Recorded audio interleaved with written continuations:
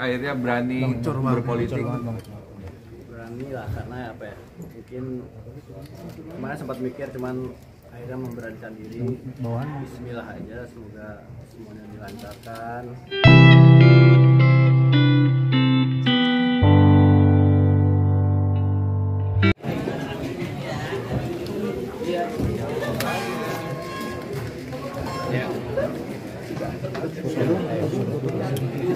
Sekarang infotainmentnya nih.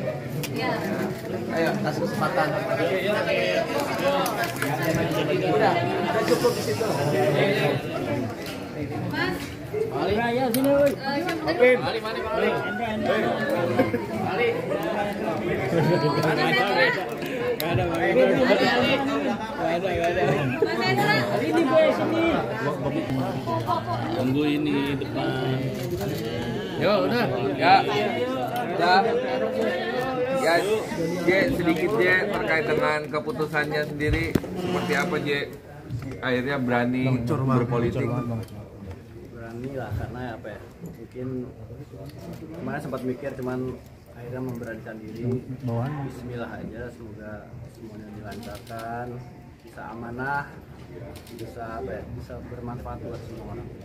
Alasannya sendiri milih PAN sebagai partai yang menaungi lo apa? Nah, seperti tadi saya bilang PAN itu partai yang asik banget partai modern isi-isinya orangnya asik-asik dan banyak juga teman-teman dari seniman di sana jadi saya lebih nyaman aja Nah, lo sendiri punya misi apa sih, J? Ketika mungkin masuk partai, eh, orang kan biasanya kan punya misi-misi nih. ya salah satunya dari karena saya musisi ya jadi pengen membantu para musisi mendapatkan haknya bisa mereka bisa menikmati hasil dari karya-karya yang mereka buat. Ya kalau sekarang masih belum mungkin ma- masih belum bener lah gitu Jadi itu artinya berarti eh, untuk musisi dan juga kepolitikan ini akan tetap eh, berjalan di musisi juga apa emang berfokus di politik? tetap dong harus musisi. Tetap jalan karena Jadi- itu hobi ya. J, boleh eh, dipertegas lagi nggak sih maksudnya untuk Kanisa sendiri sama JJ maksudnya di uh, DPRD atau DPR gitu boleh diperjelas kalau untuk saya sendiri di dap, dapil eh Jabar 2 di DPR ya. kalau bisa, kalau saya di provinsi insya Allah bantu JJ lah jadi kita support saya menguatkan dari Jabar kan Iya, sorry.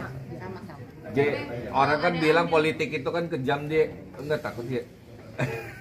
ya Bismillah sama kita nggak aneh kan Eh, Denisa ada andil dari Arafi nggak sih memaksakan untuk masuk ke partai politik? Bukan memaksakan memang maksudnya Arafi kan memang yang ngajak juga mengenalkan gitu. Tapi semua keputusan itu dari dari saya pribadi gitu. Arafi nggak akan pernah memaksakan gimana. Kalau saya kan saya maksudnya mengambil langkah ini juga pasti banyak yang saya pertimbangkan saya pikir gitu kan. Oh apa bisa apa enggak. Tapi insya Allah lah gitu. Niatnya kan baik. Maksudnya saya juga di sini ingin mencoba sesuatu yang baru belajar yang baru gitu. Dan ingin bermanfaat lah buat orang banyak.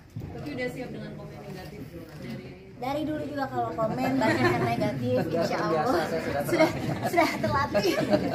Kak ini kan udah punya anak dan sudah punya pasangan ya berarti waktunya akan terkuras gitu. Untuk dari pasangan dari Kanisa sendiri maupun JJ sendiri itu gimana sih akhirnya terjun ke politik ini JJ dulu jawab JJ gimana Oh, kalau Syahnas alhamdulillah support full support. Dia seneng lah. Ini apa? Karena dia kan punya punya baru belajar lagi ya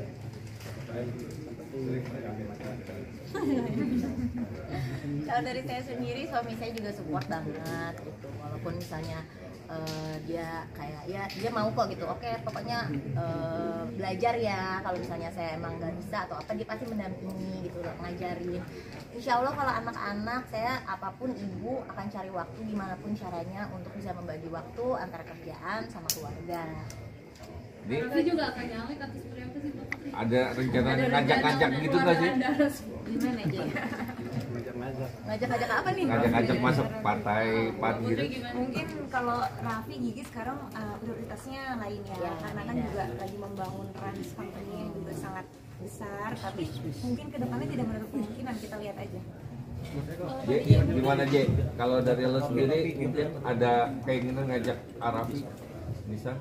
Hmm, kalau pribadi ya maksudnya Arafi itu udah tahu kok apa yang harus dia fokuskan, apa yang harus dia kerjain, kenapa dia ngajak kita dulu gitu. Karena untuk saat ini dia lagi mengembangkan bisnisnya, dia lagi fokus di yang lain gitu. Untuk sekarang aja waktunya udah padat gitu. Jadi untuk sekarang sih mungkin makanya kita, dia apa ngajakin kita gitu. Tapi kan untuk ke depannya kita nggak tahu. segala kemungkinan tuh ada Segala kemungkinan itu ada. ya awalnya saya nggak ada kepikiran gitu kan.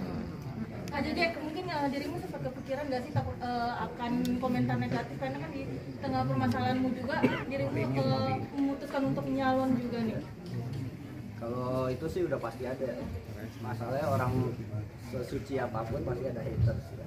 Kita itu gimana nanggepin aja nggak usah terlalu dipusingan Ini belajar politik lagi atau seperti apa? Sekolah lagi atau atau punya gimana Ya, Nanti kalau di PAN itu memang kita punya mentoring khusus, program khusus. Kebetulan kan uh, teman-teman seniman itu yang masuk PAN uh, udah cukup banyak. Kita memang ada training khusus. Mereka kan sudah punya popularity, sudah menang satu duluan. Tinggal nanti gimana popularitasnya itu ditranslate jadi elektabilitas. Nanti kita mentoring langsung. Tenang aja. Jadi akan berarti akan siap turun ke lapangan ya Harus dong. wajib. Ya. Kalau di PAN wajib itu turun ke Wajib. Jadi nanti teman-teman jangan kaget terus kalau bisa juga diikut, disupport Ya, JJ. Sebentar lagi JJ bakalan turun lapangan besukan di Bandung. Itu kapan kak maksudnya rencananya yang Segera mungkin. Segera mungkin. Karena durasi enam bulan lagi ya mau tidak mau mereka harus turun setiap saat.